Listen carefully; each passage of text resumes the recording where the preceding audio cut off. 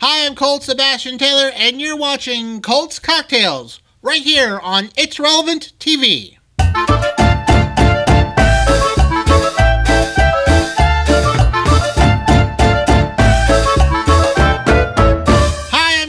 Sebastian Taylor, adventurer, entrepreneur, and amateur bartender, and welcome to another edition of Colt's Cocktails. Today, I'm doing a comparison test. You see, recently, Coke Zero is being discontinued to re- be replaced by Coke Zero Sugar.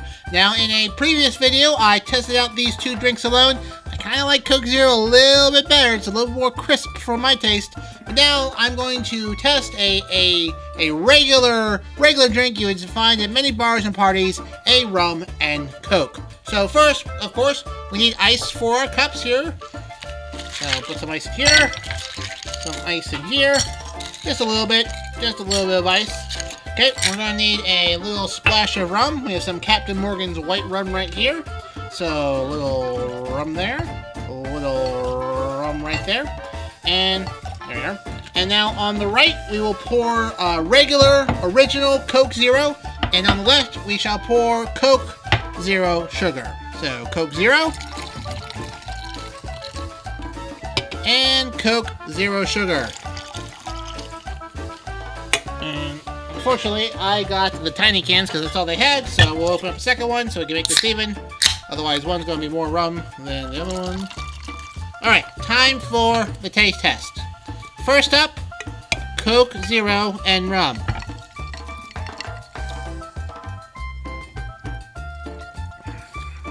Mmm, always a winner. Crisp, delicious, bubbly. Mm, Generally my favorite. That's a good that's a good rum and coke right there. Now, rum and um, Coke Zero Sugar.